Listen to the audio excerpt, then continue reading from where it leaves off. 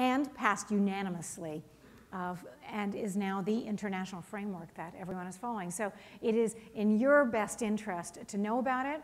If you want to do, and, and the other thing I said to Gary Bloom this morning, I said, why aren't you, you know, really penetrating Europe? Uh, he said, no, no, we are. That's, that's where we're headed. Europe is a treasure trove, I think, for your business. But more importantly, I don't need that. More importantly, if you lead with privacy in Europe, you will win because there's, there are no stronger privacy commissioners and data protection authorities than in Europe, especially Germany. Germany is the leading data protection country in the world. And they know privacy by design. They're behind it 100%. In fact, we're doing a project now on the smart grid, a paper with the um, data protection commissioner of Berlin, Alexander Dix. Peter Schaar, the federal commissioner. So they live and breathe privacy and privacy by design. They, they totally support, they sponsored the um, resolution that I, I, presented in Jerusalem. So it's in your best interest to, to get this, brand it, and present it, and, and let it just lead the way for you in Europe and all around the world. And then I'll talk a little bit about PBD in action. What have we done already in the smart grid?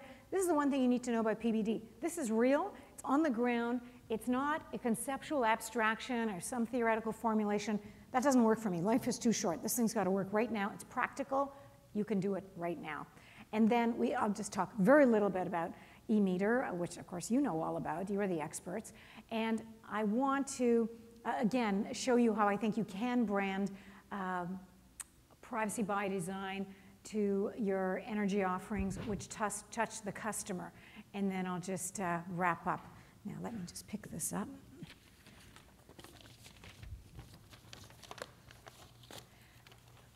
Okay, so let me just begin as to why we need to change the paradigm.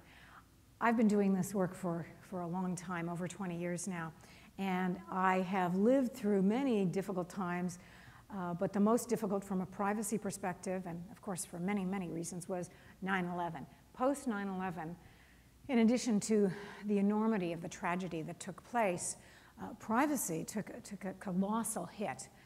I remember talking to my colleagues days after 9 11 who lived in the United States, and everyone was afraid to speak out in favor of privacy, for you know, it would be considered unpatriotic somehow.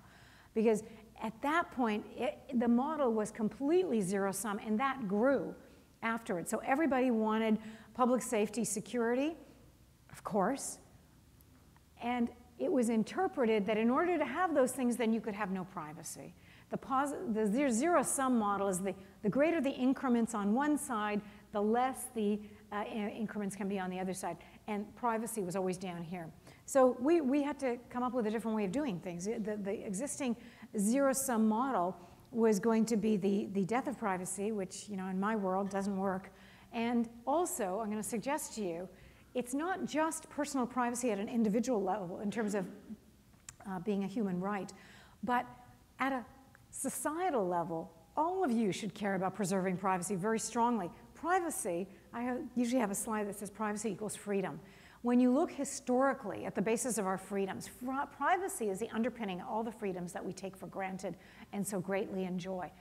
When you look historically, at societies that have morphed from a free and democratic state into a totalitarian state, the first thread to unravel has always been privacy. It is no surprise that Germany is the leading data protection country in the world, that they value privacy perhaps more than others.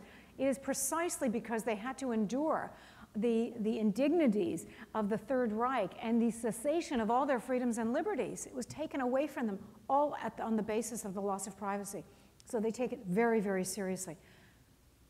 Let that be the big picture. We're doing this for a very important reason. Look at, look at the, the, all the unrest in the Middle East, what people are willing to go through in order to try to obtain some freedom. We have it. We need to keep it. In order to do that, you have to have privacy.